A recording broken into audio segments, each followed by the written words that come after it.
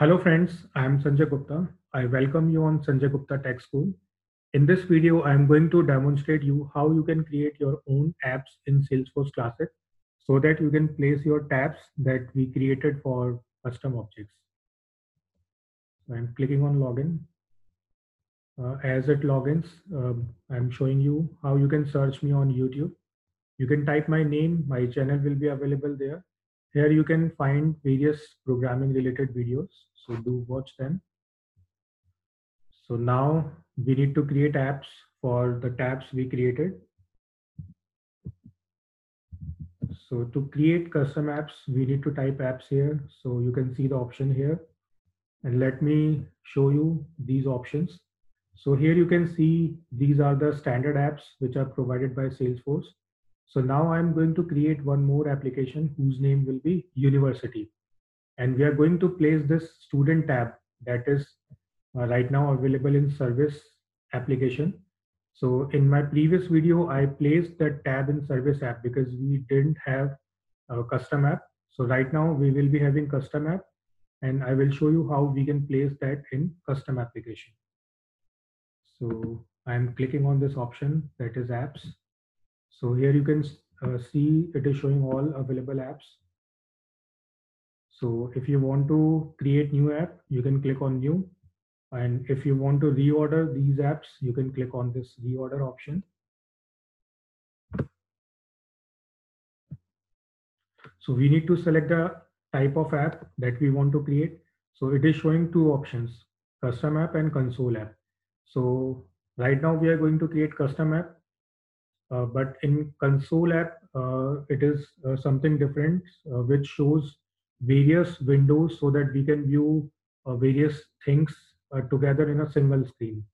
So for sales and service console, we basically prefer this type of app. But right now we are going to create custom application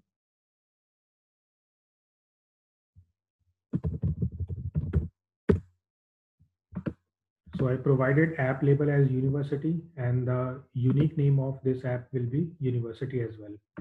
So here I need to put the information related to description. So this app is for a university to maintain details of students, employees, books, vehicles, etc.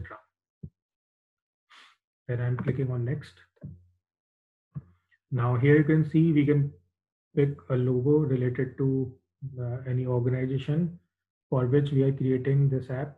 So by default, Salesforce is providing their own logo. And if you want to place custom logo, then the size will be smaller than 20 KB, right? And other descriptions are written in another statement like image dimensions should be a maximum of, maximum of 300 pixels wide by 55 pixels high for best results. So this image will be available at top left corner. As you can see, Salesforce logo is available here. So we are picking Salesforce logo as of now. Now here you can see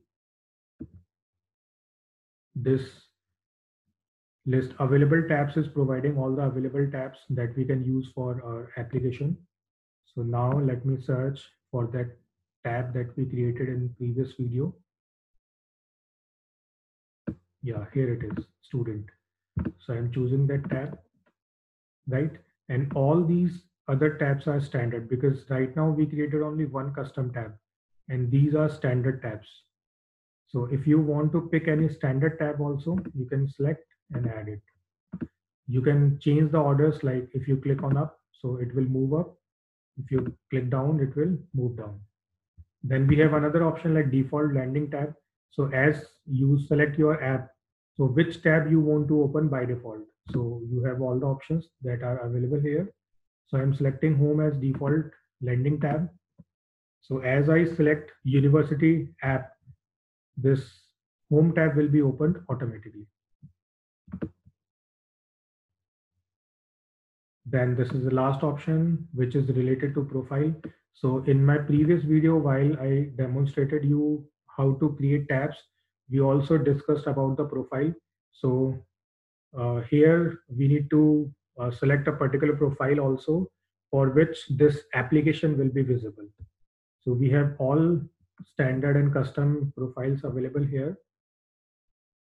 So we need to choose a particular profile for that profile users. This app will be available if we click on checkbox as true. So right now I'm having system admin profile for my user. So I'm clicking this one. Now, how to check that for which profile you are logged in, like for which profile your user is assigned. So after creating this app, I will also show you so that you can check for which profile your user is related to. So I'm related to system administrator. So I'm choosing that option and clicking on save.